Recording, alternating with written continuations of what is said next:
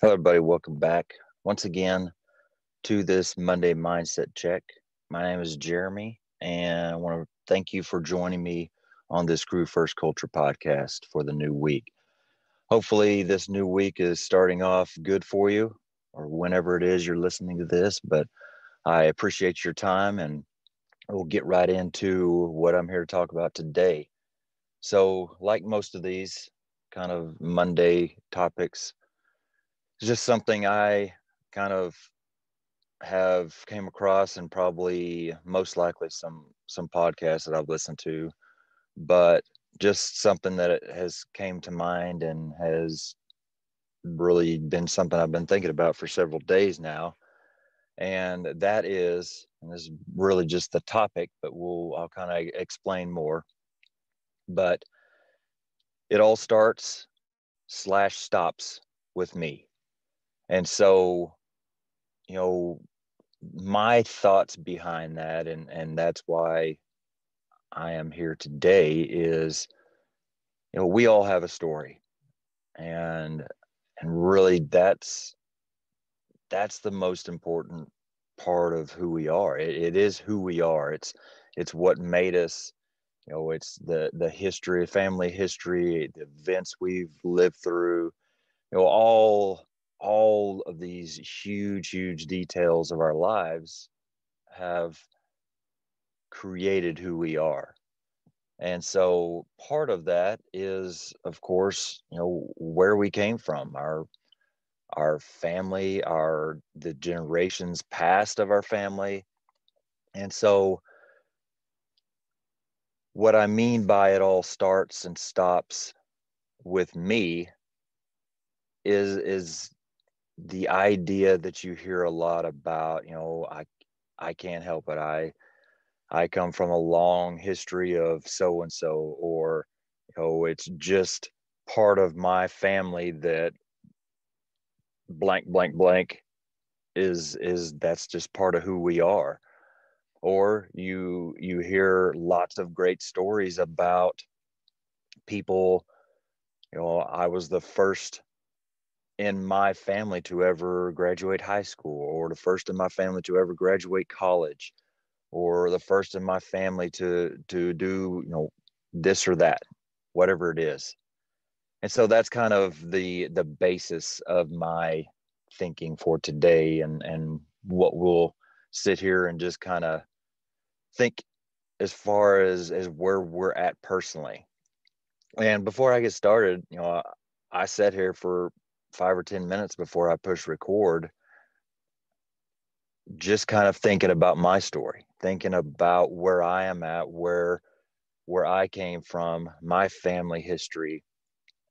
And and I realized, you know, I've I need to spend some more time in this topic, you know, really looking inside and and seeing what this can benefit me and so that being said, I, you know, I, I don't have a lot of complaints about how I grew up. You know, my family, I love my family. We're obviously not perfect. You know, I grew up thinking we were because everything seemed to be great because it, it's a great family. You know, yes, we have struggles. Yes, we have people that are dealing with a lot of stuff troubles and trials and you know everything everything that every other family has we have it. But growing up i didn't ever see that. I didn't see that till i was you know older and and maybe that was by design from my my parents and you know aunts and uncles and things like that. But you know i just didn't see it. I felt loved. I felt like our family was very very close and they they were and they still are so, that being said, yes, there are definitely some things that I want to to not fall into that that others in my family have. You know, there are things that I want to be somebody that doesn't do that. So so I want I want certain things to stop at me. I I don't really have the opportunity to be the first in a lot of things. I mean, I, I've, I, that's what I'm saying is I've got to sit and think about, you know, what are there any areas that that I need to to maybe use as some inspiration for myself to say, hey, I want to be the first in my family to do this. Or there may be some areas that I'm I don't really think about that I need to stop and say, hey, I I want to be the first person in my family that stops this. It stops with me. And so that's that's kind of just a, a little personal note before I dig any further is this is like a lot of these topics, something that I need to look into more myself as well. And like most of them, again, I am sitting here talking to myself, literally and figuratively, because these are all things that usually if i'm bringing them up it's because they're weighing on me pretty heavy or there's something that i've really been thinking about or something that i know i need to think about. And so anyway i feel like it it kind of it's a good thing because if i need to hear it if i need to think about it then there's probably some people out there that need to as well. So just kind of getting back to where i started you know we all have a story and that's that's the fun part of life you know that learning people's stories figuring out you know how they got where they are. And you know I, i've not dug in a lot as far as my podcast goes with past guests is with with their stories and and kind of digging in deeper into who they are and how they became who they are. But and this is another thought that i've had on on my way into work this morning is you know I, I think i'm i think i'm more likely to head that direction. I, I just feel like i'm evolving right now. And and what i'm talking about right now is just as you know a person that is hosting this little show or and and having interviews of people i feel like that is a piece of me that that is evolving and it's not the only piece. There, there. I'm evolving in in lots of other areas, and that's good. I think that's that's what we need to be striving for is constantly evolving, constantly changing, constantly getting better. But just as far as this one topic goes, you know, and it's really due to a couple of the the last conversations that I've had with with guests is that's kind of where I want to head. I want to start sharing these stories. Yes, it's great to hear people's idea on leadership and and culture and you know all the other great conversations that I've had and and the, there's literally not one conversation I've had that I didn't get something out of personally that I didn't truly enjoy but I feel like maybe I'm just kind of scratching the surface of of some of these things, you know. Maybe I'm not digging in the the right areas to to really get to where I need to be. So, you know, that's definitely something that is on my mind and something that I am going to be probably focusing on getting better at. It's it's not going to come natural. I'm not great at you know, I'm just not a great conversationalist. So that being said, yes, that makes me a perfect podcast host. I, I understand I'm being sarcastic, but I I know that that's probably something I need to start getting better at and and something that I can start using as a way to better add value to others' lives. And so anyway, that that will be something I'm focused on. But but that's isn't that why we're all here? You know our our history the stories that that we have lived through the circumstances that we have faced the trials the challenges that we have encountered and defeated you know, all of these things make us who we are. And so when you're digging down to even a deeper kind of a deeper place in all this is even before that. And and that's where i'm kind of getting at is is that past that history things that you don't even have any control of. You know everything i've talked about to that point is, is stuff that you have lived through things that you have encountered things that you have either failed or accomplished defeated whatever but we're talking about farther back. We're talking about you know generations. Your your dad your grandpa your great grandpa your mom your your just on down the line. And some of these things are good and some of them bad. And so that's kind of why we need to to spend some time thinking about it. You know my kids have got some family history stuff that I pray that they do not inherit. I pray that they are the ones that this particular thing stops with them. Because if it doesn't, it's going to be a very hard life for them. And so I hope for them that they say, This stops with me. And my wife and I have had numerous, countless conversations with them about this. You know, who your parents are, who your grandparents are, who any of your family members are, does not make you who you are. And that's kind of the subtitle I would say of this episode is is it starts or stops with me. But no matter what my parents have choose to, to do, no matter who my parents are, grandparents are, no matter who my family is, what they've done, good, bad, it doesn't matter because I get to choose. I get to choose who I am. I get to choose what I do today. I get to choose if this bad thing that has plagued my family for decades or generations, I get to choose if it stops with me. I get to choose if, you know, something that my family has never achieved, if I get to be the first one to do it. If if that's something that I want to fight for, I get the choice to be that one that fights for that. And so that is what I am digging into today.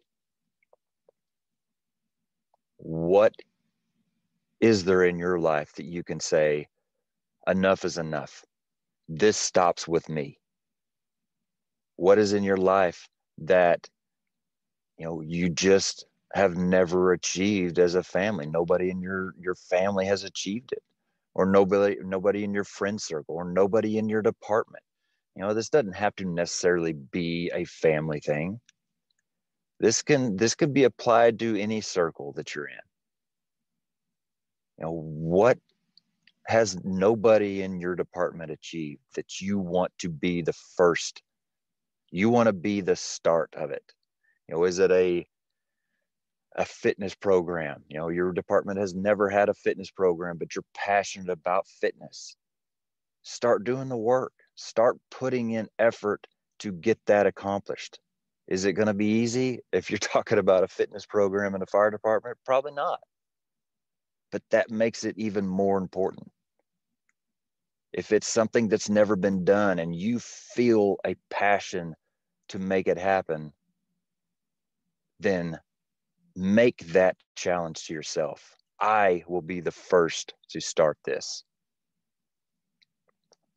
and so kind of going the opposite direction you know if if you want to just look at it at the department level or friends or, or whatever circle like i said about you know the starting oh, what is there about your department or about your friends that you want to say no more. This stops here. You know i if if we want to look at it at, at that level you know i discussed a little bit about my family but if you want to look at it you know as a kind of comparative with the department kind of mindset you know there are a lot of things going on right now in my department that i don't like i hate that bother me that that make it hard to come to work some days. But eh, kind of unknowingly i have decided that it stops with me and no i have not figured out how to truly make it stop what i can do in the meantime is i can not be involved in it i can take myself out of the situation that i don't like I can remove myself, I can remove my involvement in whatever's going on that I don't like. That's that's easy. We all can do that.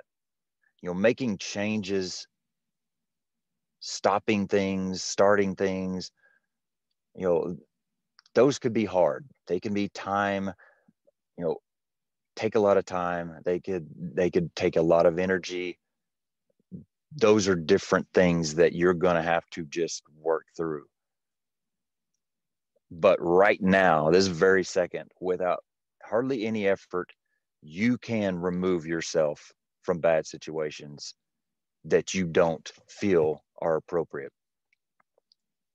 If you have a lot of rumors being spread, don't involve yourself in it.